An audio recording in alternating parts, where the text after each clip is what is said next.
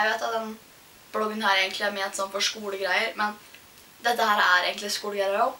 For da vi startet denne bloggen, så var det fordi at jeg på en måte skulle ha en øvelse til bloggen jeg skal ha neste år. Og grunnen til at det er akkurat neste år, er for at neste år så er jeg utvekslingsstudent med AFS, og jeg skal dra til Amerika. Og jeg vil liksom lage blogg mens jeg er der nede, da. Så det er dette på en måte sånn test det. Men i dag så fikk jeg vite hvor i Amerika jeg skal. Eller ikke sånn helt, da. Men jeg skal dra til Chicago. Eller området rundt Chicago. Det er egentlig veldig rart, for før, når folk liksom har spurt meg skal du til Amerika et helt år? Å nei, å nei, åssen føler du deg? ikke sant?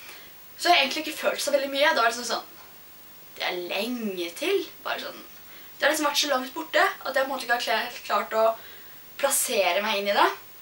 Men det er ikke så lenge til skoleåret er over. Ok, det er en stund fremdeles, men det er liksom ikke så lenge. Plutselig at nå vet jeg navnet på det stedet jeg skal til.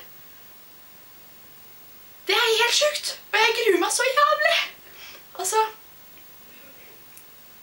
Sånn, egentlig så kan du jo si at dette her er Ok, jeg skal reise til Amerika, bo i et land der hvor de snakker amerikansk. Jeg hater engelsk. Sånn altså understrek, jeg hater engelsk.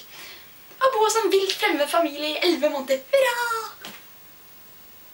Altså Nå begynner jeg å bli skikkelig stressa, og det er fremdeles en stund til jeg reiser. Ok, det er ikke så lenge, men det er fremdeles en god stund.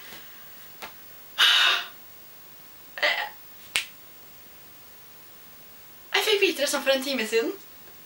Jeg holdt på å klikke for meg. Og så er det ingen som tar telefonen når jeg ringer og forteller det til dem. Å, herregud.